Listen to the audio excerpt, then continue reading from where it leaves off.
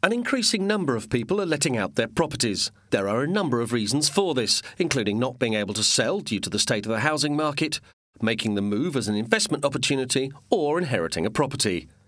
This makes you a landlord, and there are a number of steps you must follow. Step 1. Do you need a letting agent? You can let your property privately, or you can use a letting agent.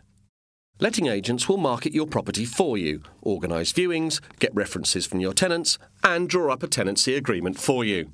They can also manage the property and take care of any maintenance issues, dealing directly with the tenant on your behalf. They will also organise rent payments and, of course, levy their fee. It's a good idea to make sure the agent is a member of a recognised body. Members of the Association of Residential Letting Agents, the National Association of Estate Agents, and the Royal Institution of Chartered Surveyors are all bound by a strict code of conduct. If you choose not to use a letting agent, you must make sure that you do your research and turn to organisations such as the National Landlords Association for support and advice. Step 2 Furnishing your property. It's important to know your market Trips to IKEA may not be necessary for a property at the lower end of the market. Landlords should always search for the most cost effective options. However, if you're targeting professionals, neutral interiors such as white walls and laminate floors can have a significant impact on the rent you charge and your success in letting your property. Step 3 Your mortgage. Get your mortgage lender's consent to let your property, otherwise, you could be in breach of the terms and conditions of your home loan. If you want to keep your mortgage as it is, so that you can rent out your property on a short term basis, then a lot of lenders may allow you to do so. If you are planning to let out your property to buy another one, however, you may experience greater barriers as you will be taking on two loans, regardless of the fact you plan to have your tenants pay off one of them. If this is the case, you may need to take out a buy to let mortgage. Step 4 Get the right insurance. It is important to have adequate insurance cover. Your regular house insurance will not suffice. Landlord's Insurance offers you specialist cover designed to protect you financially for a range of eventualities.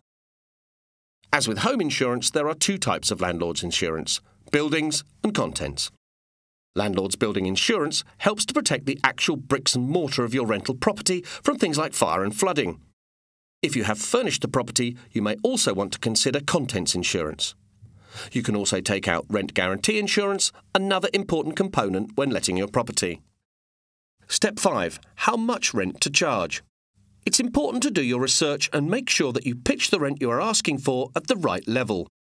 Websites such as findaproperty.com or rightmove.co.uk are a good place to start. If you are using a letting agent, they will give you an estimate for the amount of rent you can expect to charge. Bear in mind that tenants may try to negotiate a lower price, so if your mortgage payments are sizable and your margins close, you need to be careful. And when the market is flooded with rental properties, be aware that just like house sale prices, rental prices can fall. Step 6 Tenancy Deposit Protection.